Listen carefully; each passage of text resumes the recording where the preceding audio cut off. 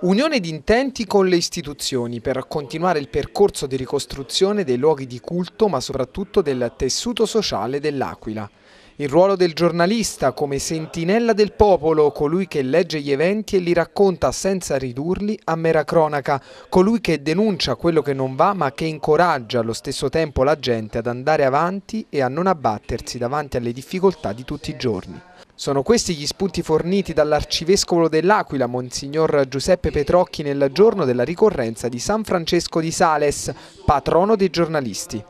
Ad intervenire al fianco del vescovo aquilano anche il presidente dell'Ordine dei giornalisti d'Abruzzo Stefano Pallotta che ha parlato della funzione del giornalista con l'avvento dei social network e delle conseguenti insidie di disinformazione. È un appuntamento per tutti quanti noi eh, proprio per quello che diceva lei, quello di riflettere sul nostro mondo, sull'informazione anche alla luce delle nuove tecnologie, dei social che stanno trasformando profondamente la nostra, la nostra professione.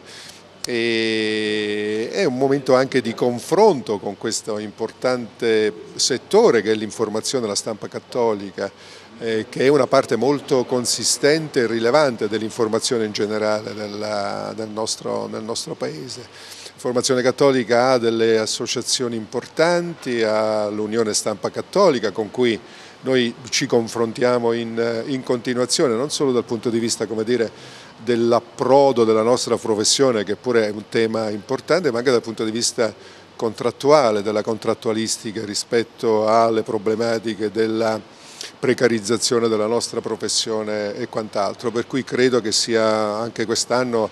un incontro importante per tutti quanti noi per riflettere nostra, eh, su dove sta andando la nostra professione.